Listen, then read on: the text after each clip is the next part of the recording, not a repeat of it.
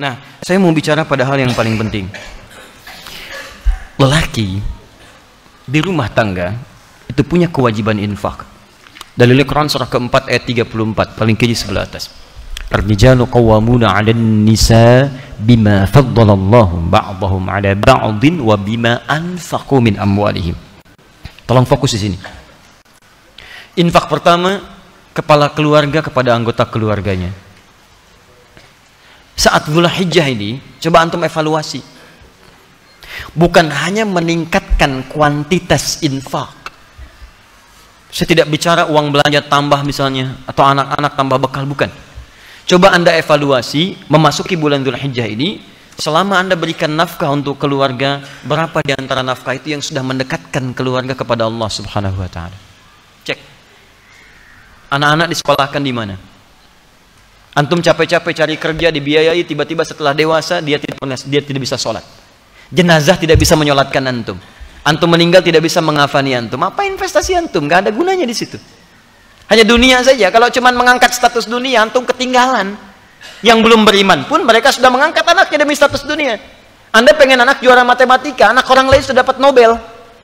Makanya saya katakan, kalau berlomba untuk urusan dunia itu kecil. Nilainya nggak ada. Celupkan air ke dalam gelas, angkat sedikit tetesan pertamanya dunia. Cuman segitu nilainya. Tidak berlomba untuk akhirat. Begitu Anda lombakan anak Anda untuk akhirat, maka dia akan jadi pemenang termasuk dalam urusan dunianya. Ya, dunia itu seperti bayangan. Kalau antum kejar-kejar, capek, nggak akan ketangkap. Ayo silahkan kejar bayangan, pulang di sini kejar tuh terus. Ya, capek antum. Caranya berbalik dari bayangan, maka bayangan akan mengikuti Anda. Cari akhirat, Anda tidak akan ketinggalan dunia. Silahkan cek orang-orang dulu. Mereka penghafal Quran, ahli hadis, tapi ahli matematika juga. Ahli fisika, ahli kimia, ahli macam-macam. Dan bukan aib. Kalau anak kita misalnya sekolah dalam umum, nggak ada masalah.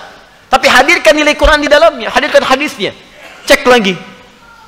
Rumah yang antum kemudian titipkan pada istri ketika antum bekerja. Jadi apa di dalamnya?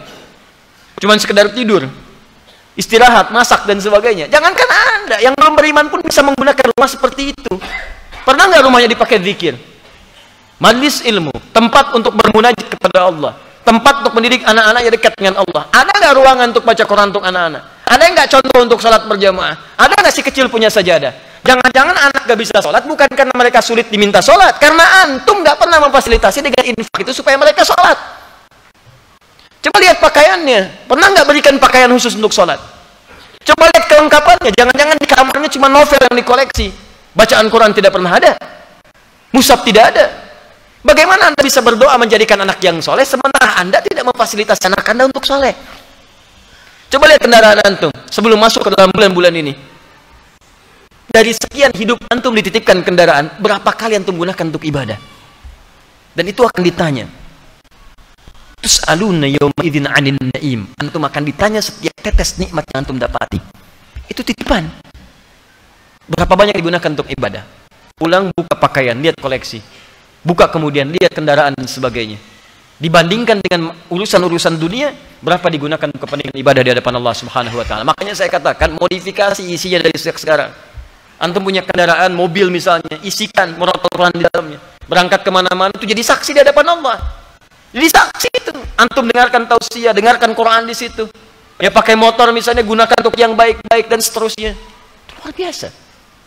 Dan itu indah. Kalau nggak percaya coba bikin visi dari sekarang, perbaiki keluarga, nafkah yang digunakan, gunakan untuk kepentingan nilai-nilai kebaikan sebagai tuntunan syariat. Maka Allah akan titipkan keberkahan di dalamnya. Ada seorang ahli Quran, tinggal di pedesaan. Suaminya bekerja sebagai buruh bangunan. Istrinya itu ngambilin kayu. Masya Allah. Kadang-kadang tidak malu. Di kesawah dan sebagainya. Tapi tahukah antum, istrinya hafizah penghafal Quran. Anak-anaknya penghafal Quran Suami pulang ke rumah cuma 500 ribu dibawa, tapi tidak pernah ada keluhan di lisannya. Yang dia katakan, Masya Allah, Alhamdulillah, Abi bawa uang banyak sekali, banyak sekali. Setiap tamu datang dimuliakan oleh beliau, makanannya, segalanya, macam-macam, ada keberkahan di dalamnya. 500 ribu, tahan dalam sebulan, disebut banyak, dan ada keberkahan di dalamnya. Antum 5 juta, 15 juta masih merasa kurang, butuh berapa lagi? Coba cek lagi.